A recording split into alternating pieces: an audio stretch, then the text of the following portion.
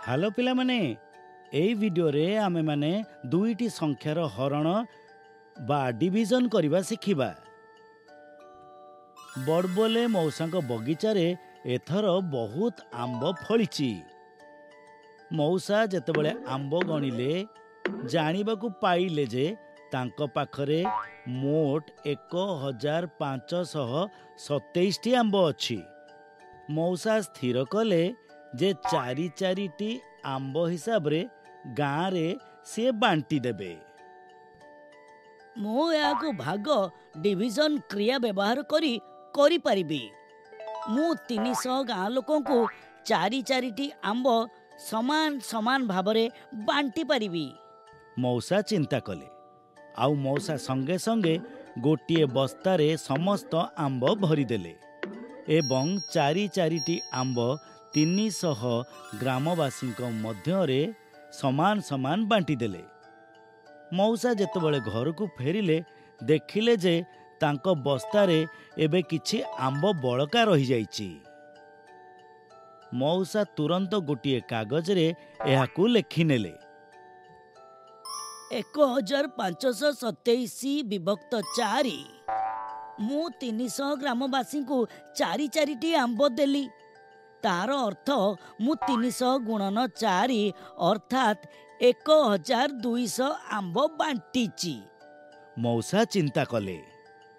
ଏବେ ମଉସା ଏଠାରେ ତିନିଶହ ଲେଖିଲେ ଏବଂ ଏଠାରେ ଏକ ହଜାର ଦୁଇଶହ ଲେଖିଲେ।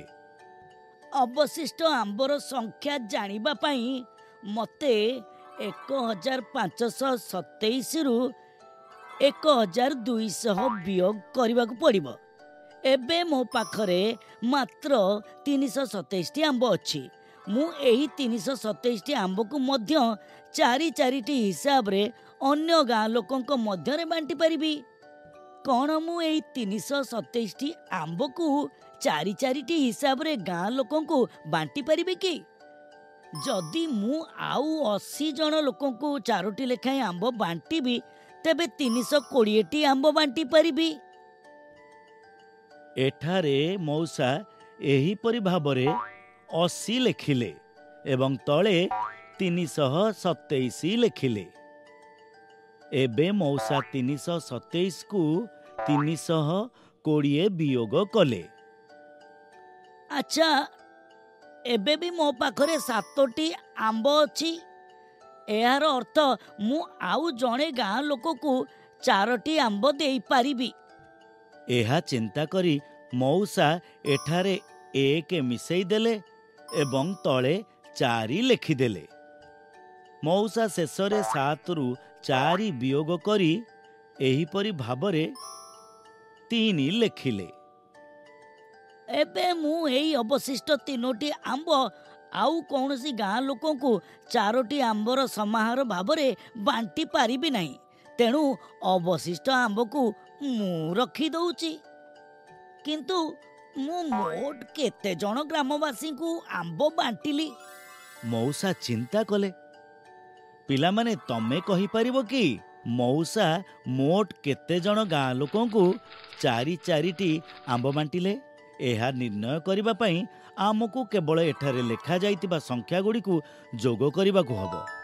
ତିନିଶହରେ ଅଶୀ ଏବଂ ଏକ ଯୋଗ କଲେ ହେଲା ମୋଟ ତିନିଶହ ଏକାଅଶୀ। ମଉସା ମୋଟ ତିନିଶହ ଏକାଅଶୀ ଜଣ ଗାଁ ଲୋକଙ୍କୁ ଚାରି ଚାରିଟି ଆମ୍ବ ବାଣ୍ଟିଛନ୍ତି। ମଉସା ଗାଁ ଲୋକଙ୍କ ମଧ୍ୟରେ ଆମ୍ବ ବାଣ୍ଟିଦେଲେ ଏବଂ ଏବେ ଘରକୁ ଫେରି ମହା ଆନନ୍ଦରେ ତିନୋଟି ବଳକା ଆମ୍ବ ଖାଉଛନ୍ତି।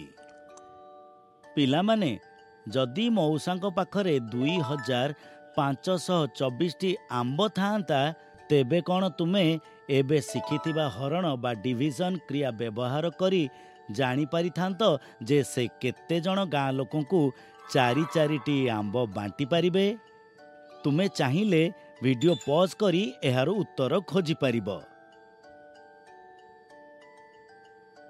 ଆମେ ଏହିପରି ଭାବରେ ହରଣ ବା ଡିଭିଜନ କରି ଜାଣିପାରିବା ଯେ ମଉସା ଦୁଇ ହଜାର ପାଞ୍ଚଶହ ଚବିଶଟି ଆମ୍ବକୁ ଚାରି ଚାରିଟି ହିସାବରେ ଛଅଶହ ଏକତିରିଶ ଜଣ ଲୋକଙ୍କ ମଧ୍ୟରେ ସମାନ ସମାନ ବାଣ୍ଟି ପାରିବେ। ପିଲାମାନେ ଏହି ଭିଡ଼ିଓରେ ଆମ୍ଭେମାନେ ଦୁଇଟି ସଂଖ୍ୟାର ହରଣ ବା ଡିଭିଜନ କରିବା ଶିଖିଲେ। ପରବର୍ତ୍ତୀ ଭିଡ଼ିଓରେ ଆମେ ଏ ସମ୍ବନ୍ଧୀୟ କିଛି ଉଦାହରଣ ଦେଖିବା।